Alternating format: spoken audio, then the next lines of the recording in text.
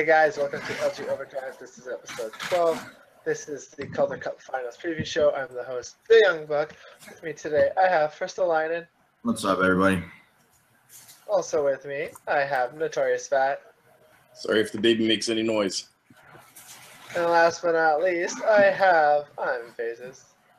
My name's Mackie now, thank you. Oh, it's Mackie now. Sorry.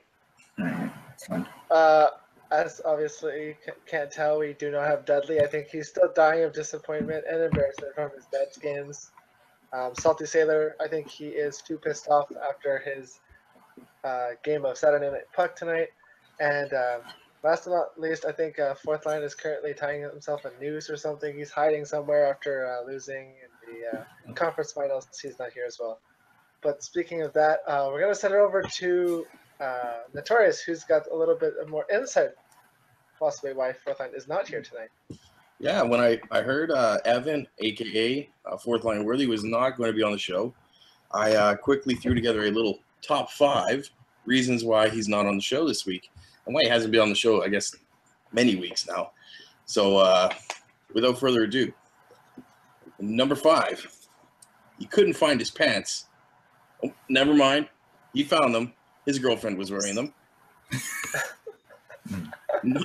Number four, cleaning his fish tank. Yeah, sounds about right. Number three, as Buck said, he's learning to tie a noose. Number two, he's currently taking some night CPR courses, you know, for all the choking. and number one, he's busy planning which NHL team he's going to bring to the President's Trophy, only to disappoint in the playoffs. Uh, that's a little harsh. That last one I there. don't know. Went right at him, huh? Oh, It's wow, just fun. five straight shots, just bang, bang, bang, bang, bang. Yeah. Fuck. Sorry Um, that, No, no, no. To be fair, he does deserve it. He hasn't been here for like a month now. We gave him a little bit of ch- uh, heck for it earlier, uh, and now Risto obviously took him out of the conference finals after he was supposed to just demolish and dismantle Tucson. And we're actually going to go into that and uh, bring it on to the uh, the Calder finals. We have Tucson, who took out Rockford in five games, eh, versus Rochester, who took out Providence in six games. But we'll talk about the uh, Rockford and Tucson series first. Obviously, I just said Tucson won in five games. Uh, a couple of games obviously going to overtime, but I'll let Risto talk about that series since it's his team. All right, yeah. Um, well, going into it, we knew he was going to have a good team. I talked about that in the previous show, but it ended up being very close to my. Even if it is only five games, two of the game three and four were in overtime. Uh, Augie played out of his mind in that game, as well as the forwards and defensemen in both those games, three and four. And then uh, the other two, game two and five, were also close games. So there's it just could go. It could have went either way, but uh, we ended up taking them out, and we were we were definitely happy for it most of the community wasn't necessarily rooting for us, so it was nice to pull out the upset, I guess you call it. Oh, you say like that the community wasn't rooting for you. I think they're all rooting for you now, though. Yeah, I can see it. The way uh, Nabby conducts himself in the shop box is uh, it's not something to root for sometimes, and not even Nabby. Maybe maybe someone just wants an upset. Who knows? We'll see what happens. Yeah, I know, Community enough. voting for that series is currently 43 votes for Tucson, 31 for Rochester. Oh, wow. So don't you know? I guess playing in the worst division in the league turns out to be the benefit because no one knows what to expect from you. Yeah, I don't know if it's not what they expect. It's like, it's not like we didn't beat good teams during the season, but I don't know. I'll take it though. Shit. You're from the you're from the shitty Pacific Are you, you mean like good teams like Stockton? Because Yeah. uh, Stockton almost made the playoffs. Yeah, I'm not saying the teams in our division were good or bad. I was talking about the other divisions we played. it's okay to say we were good, Risto. It's okay. you, got, you guys were good. Thanks. There you go. Yeah. All right, so we spoke a little bit about that series. I'll let Mackie talk a little bit about the Rochester Providence series. Uh, it was a very back and forth series. Um, game six ended up being a one goal game. That's kind of a heartbreaker for Providence. If they won seven, I think they would have. Seven periods. seven fucking periods. Yeah, like it took seven overtimes. That's pretty awful, especially since it was Raw Providence's first line against the Death Banks Star, and won that game himself. he faced thirty fucking shots. I mean, it's, Pro, uh, Rochester had 14, 15, 16 shots that whole game. No, they had 14 shots the whole game. Providence had 30. And Yeah. Providence had 15 minutes of time on attack to Providence or to Rochester 7. So Yeah, apparently they dominated that game. Banks They- the only reason why they won. the looking at the stats, literally Providence dominated. Face off wins, penalty minutes they were way better, time on attack, shots. Like the only category they lost in was hits and goals. and goals, clearly. Wins. But but it sucks for them because that was like their first line. That was their three-headed, whatever they like to call it. So losing with that line in a fucking seven-period game. I, Yeah, I would say, No, I would say Providence was the real surprise of these playoffs. Like, I think Oh, absolutely. no nobody had Providence picked, right? And uh, they surprised a lot of people. Like they took two guys, uh, starting with the goaltenders that I don't think anyone really had any faith in. They played amazing all all through the the, the playoffs and carried them really as far as they did. Um, you know, props to those guys. You, know, you guys all did a great job in Providence. Nothing to hold your head down about. You should be proud. You guys had a great season. If you want to know how much of an underdog they were, nine people voted for them in the first round, and only eight, 19 voted in the second round. In the third round, they went down to 12, but they were underdogs the whole playoffs. Yep. Yeah. I had their back. I didn't vote. I didn't do any voting, but I had their back. They were definitely a team that surprised me as well. Like start they fell off the wagon, I think, towards the end of the season in the regular season, and then ended up coming out pretty big and making it to the conference finals, which is I'd say they can't hang their heads about that whatsoever. I guess Providence could be a little happy that Nightmare and his team choked at the last week of the season. A little bit. Um, I think someone on Hershey said it best though. Providence played real NHL 17 hockey. So I mean, they played right into the game. They didn't try and do shit that they knew didn't work on this fucking game. 'cause it's a piece of shit. Took the tools they were given and used them properly. Exactly. They played exactly like this game needs to be played for it to be good. And that's that's smart. Good for them. Yeah, it's smart. It's very smart. So now moving on to the finals, we have Rochester obviously, obviously being Eastern Conference champions, but they also were the regular season Eastern Conference champions, facing against uh, Tucson, who was the Pacific Division champions, and now obviously Western Conference champions. Um, Notorious, give a little insight on this series. Uh, you know, here's here's my thing with uh with Rochester. Rochester to me is let's let's say they're a human, okay? So all the players that are on that team make up different parts of the body, right? So you have like arms and legs and you know body and head and all that kind of stuff, and you have an asshole. So you Uh-huh. you can figure out you figure out where that is. And unfortunately for them, it seems like they've got some kind of really bad anus cancer. Like it's just ripe, ripe with cancer up in their ass, right? Like I don't know if there's enough radiation to fucking flush that shit out.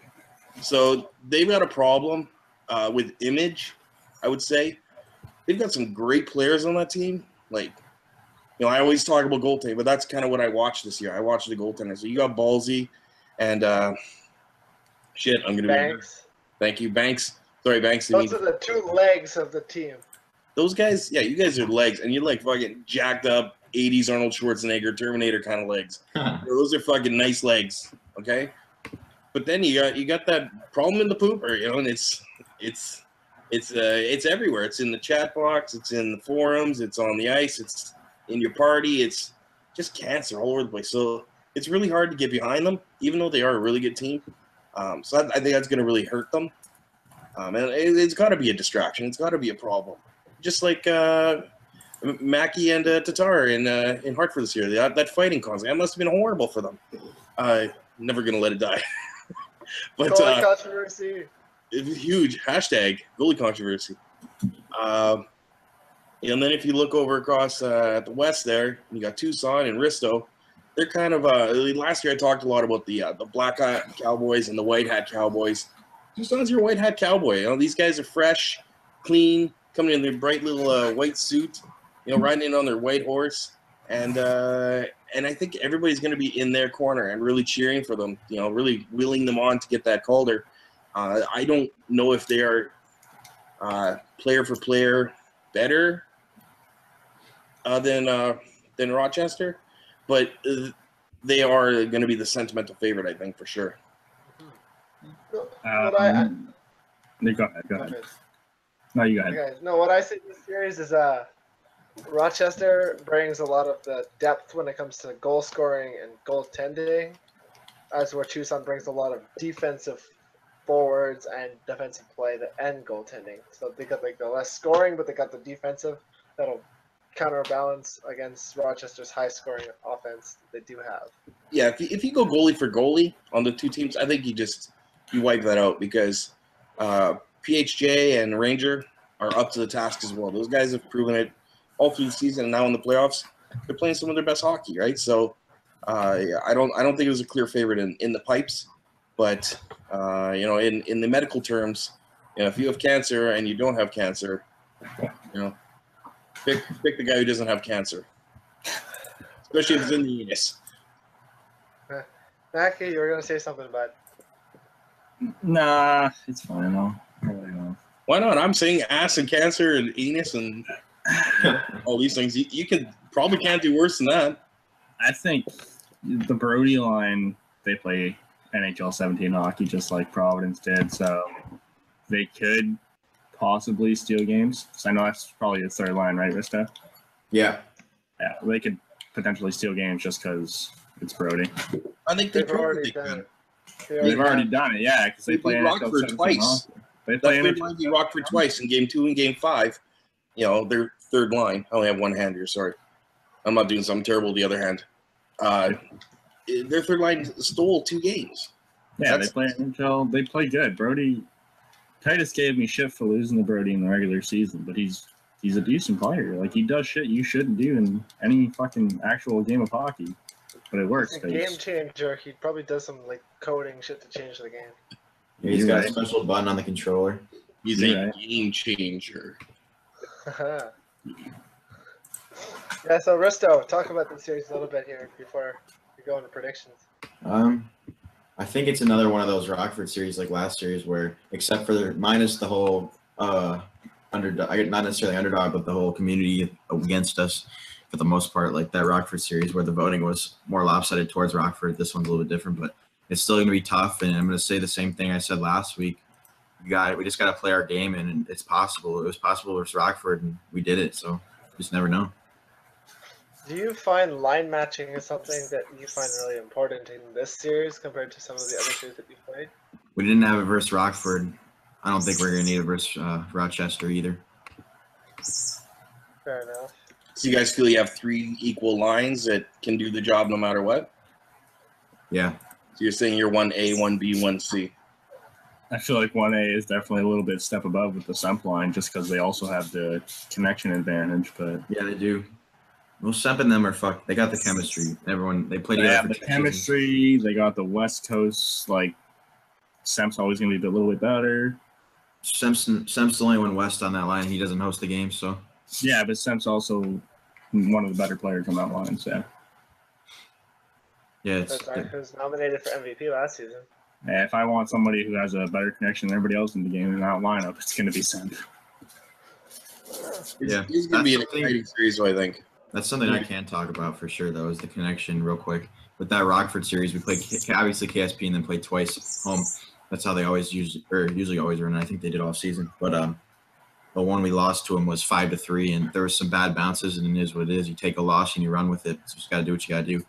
But in this la- next one, we had some high ping, but it wasn't anything too crazy. And I don't think connection should be the reason you win or lose. Yeah, you yeah you can complain about the connection and it sucks when it's slow. That's 100% facts that it sucks when it's slow, but that just Okay. shows there that anyone When can you- win the game.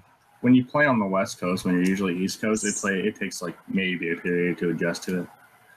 Yeah. As long as you're not just sitting there bitching about it, it takes maybe a period. Honestly, when I play, I played that KSP line when we won the la- the fourth game, or I guess fifth. I I didn't notice too much of a slowness because, but I did check my network performance and it was a little bit higher than usual. honestly, the way that KSP line plays, it let me adjust to it because they like doing their corner cycling, whatever kind of moves you do. A lot of teams do that, I think, and that gives you kind of some time to sit back, be patient, and let them do their thing. And I think that helps a little bit. Yeah, Yeah, yeah. a lot of a lot of forwards do that. That's what I said about their team. They're going to lose eventually because that's what they do. They go to the corner and then they try and find somebody open. And good teams aren't going to let you sit there and find somebody open. They're not going to chase you to the corner. They're just going to cover the other four guys. They're going to be fucked. Cover the lanes. Exactly. Yeah, we knew that going into the game. I literally said that's one of the main things I said is that we're gonna not gonna get we're not gonna win on time and attack versus any Rockford line hardly, other than maybe that Arskog line, which I don't know if we even did with that. But we got out time and attacked like a lot versus uh, KSP line in Game Five. But that's because they do their things in the corner. It, it it works for a lot of people. Like it works for them all season. Obviously, they're a good team, but it just stopped there. That's what I said. I said in like week six, and Waltz and someone else got really mad at me, but apparently it was true. What you gonna do? That's how they play hockey. So, incoming message. I actually found out right now, thanks you to Augie32, that fourth line is actually playing club with the boys in Rockford. Mm-mm-mm. Mm-mm. Suddenly got some internet, eh, buddy? I thought he wasn't home. Yeah, I thought it wasn't home either, but uh, apparently Saturday night puck brings priority with the boys. Oh boy. Shout out to Augie for that uh, mind blowing discovery. Thanks. Season's over. You can do whatever the fuck you want now. Uh, What's he gonna do? Bench you? so moving on now. Um, to let the whole community know, uh, we're actually uh, done with voting for awards as of the time of the show started. Um, we're going to be doing a show next week, uh, releasing the winners of each and every one of the awards that we voted on, including obviously the Calder Cup champs and all the other trophies that you win during the regular season that are team based and points based and goal scoring, like that are already been guaranteed because it's based off statistics. But the ones that we voted for, the six awards MVP, best goalie, best defensive forward, best D man, uh, GM of the year, and most Sportsman sportsmanlike will be released next Sunday on another and final Overdrive show. So look forward to that because we've spent a lot of time over the last few weeks going through the numbers, going through games, and looking who's played who, and like picking out various winners. Um, when we do release it, I'm gonna release like this guy was finished third in voting, second, and then the winner. That way you have a little bit more of an in-depth thought process on that. But Give you a couple of bullets to put in your gun when you're shooting at us. yeah, I have an update on the fourth line situation. Uh, Breaking news. This is this is breaking news. Uh, a message from fourth line himself. Augie is AIDS. I'm not playing club. Uh, Classic.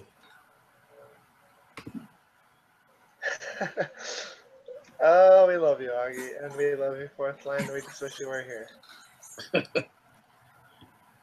I just need the fish tank in my life. I want a fish tank in my life too. fish tanks for everybody. You get a fish. Oh, you get a fish. You get a tank. not because you're in the playoffs. I'm buying everybody Alright. good fish.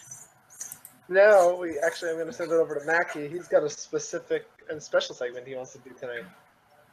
Special segment due to uh, only having a top five uh, and Dudley's wonderful presence being missing from Overdrive tonight. Um, I've decided to announce that this is going to be the last media show I basically ever do. Um, and in typical Overdrive fashion, I'm going to do that with the top 10 reasons of why Faces or Mackie is no longer going to be on the media shows. Number 10. Oh, before we start, before we start, are you just are you still going to be part of the media team or are you leaving the show? I will be part of the media team. I'll be helping behind the scenes with the editing. Um, I'll be streaming all my games, probably making it more interactive, but I'll still be here. I'm not quitting LG. I'm not quitting the media team. I'm just not going to be on the show anymore. That's definitely gonna be a rumor. You're Something tells me there's some a lot of plastic surgery coming up. I'm going to come back on as fourth line. gender reassignment. Oh God. He's gonna go. he's gonna go from Mackey to Mackenzie. There you go. That's reason 10 right there. I'm going from Mackey to Mackenzie. that's why his gamer tag changed. Okay.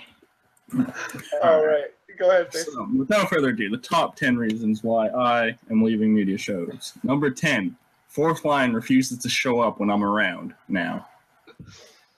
Number nine, the four, number nine, the fourth line superstition has got to me, and I'd like to win sometime in the next five years. Number eight, I'm retiring to start full time in SMP, dominating people. Number seven, Rochester filed a formal complaint to get me off the show because I hurt their feelings too much. Snowflakes. Number six, Buck told me I couldn't drink and be on the show to avoid a Darcy Kuemper situation. Number five, my pitch for the Roast 2.0 was denied. Number four, Sorry, Darcy. I'm going to devote more time to trolling the few remaining beta sisters. oh.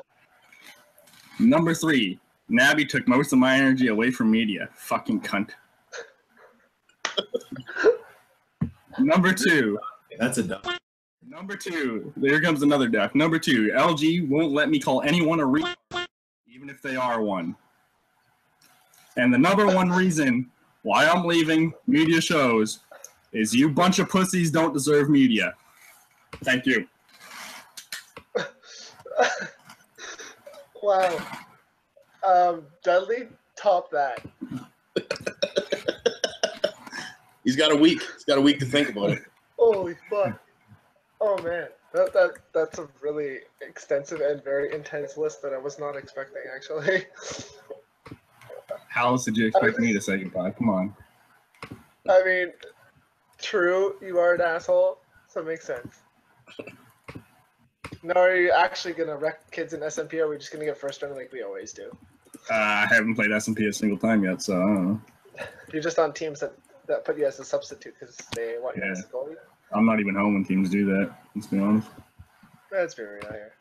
So, without further ado, um, do any of you guys have any shoutouts before we close off the show for this week? Whoa, we can't close off the show.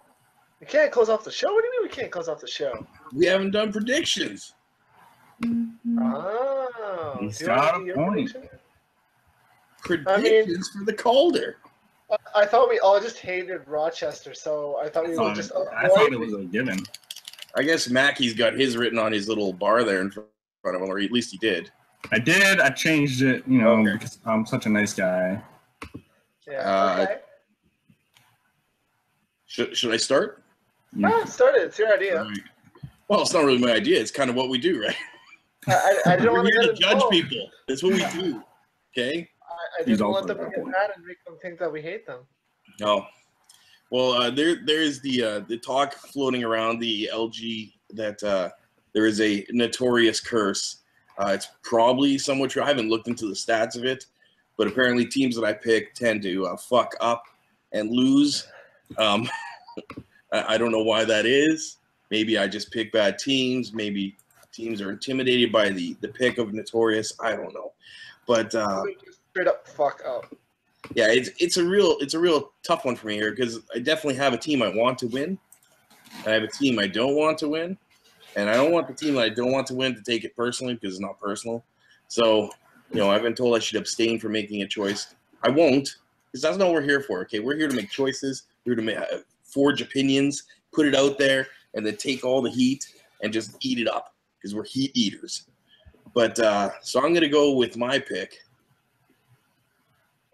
as Rochester Oh, interesting. in six. Okay.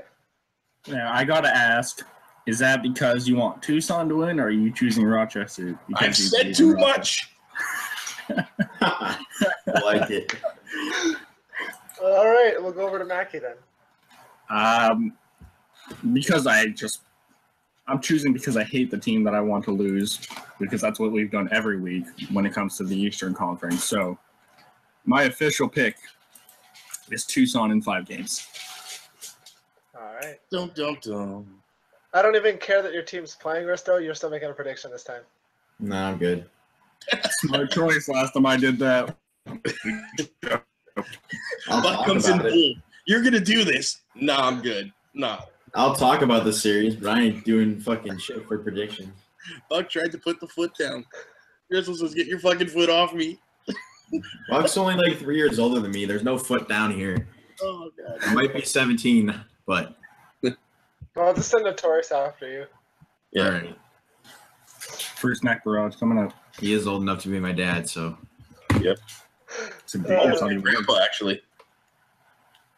probably. Tucson and for. Four. Jesus, Buck. Fuck. Fucking sweep. You crazy? Holy shit. I don't even think Rochester won't score. that's a little, that's your bold Wow. prediction. Okay. Um. So if this does happen, Buck's the greatest of all time, right? Uh, yeah, pretty much. Yeah. Yeah. Hey, if if it comes true, Mackey's back again. Oh baby. If this happens, if Rochester doesn't score a single goal, I'll be back next week, and I'll be back uh, minimum five shows next season. Book it. Damn. I'm writing it down. Give me a pen. Uh, It's a video, Buck. Just save it. Yeah, Just say it's a video. It's going on the site. Sure. forever. This is forever. Oh no. If there are four straight shutouts by Tucson, I'll come back. Interesting. PHJ Ranger, watch the show. Please do it. they, they're probably watching right now, to be honest, or one of them is. Book it. Anyways, um, yeah. Any closing comments? Any shoutouts for you guys before we actually head out this time? Sorry. guys. Sorry. Um, I got one. Okay. All right, so this one goes out to Nabby and the boys. Uh, I'm just gonna say good luck in the series, and uh, we're coming for him for sure. All right. That's all I got. That's Mackie. bulletin board material right there. Boop, boop. Uh, no shout out. I think I've shouted out everybody. I mean, shout out to everybody who finished the season and didn't quit like a bunch of bitches. Also, I have a message from Rico. She says, "Faces, we're gonna miss you." Oh, Rico. Rico always watches these shows. He should get a shout out. Shout out to Rico for watching the show. There you go. There you go. Yeah, he's been on like I Ah, think he's watched every single one live almost. he has. All right, Notorious.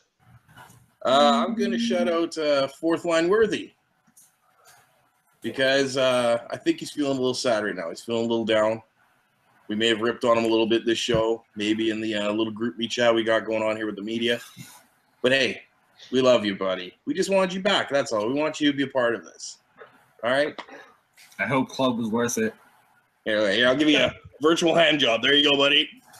what the hell? What the fuck just happened? Your daughter's next to you. What is? He feels better now. He's happy. Mitch Grace's daughter's sleeping next to him. He's doing this weird Ah, she's fine. She's fine. All right, and I gotta do my final shout out. I'm gonna send it to my, uh, give a shout out to my boy Breezy, Semp, and Lorenzo. Um, I'm still going. You're saying you're losing both again this series because it seems to be you guys for every series. So, uh, you guys are losing both again. Um, so, yeah. If he doesn't watch the show, I'll relay that message during a uh, banana league. Oh, they always watch it, so one of them does. Anyways, without further ado, uh, good luck to Tucson and Rochester in the Calder Cup finals. We'll catch you guys next week with the Calder Cup finals. Um, obviously, it'll be over, so we'll be announcing the winner and then all the awards uh, next week. So it'll be the awards show next week. Catch you guys next week. Then.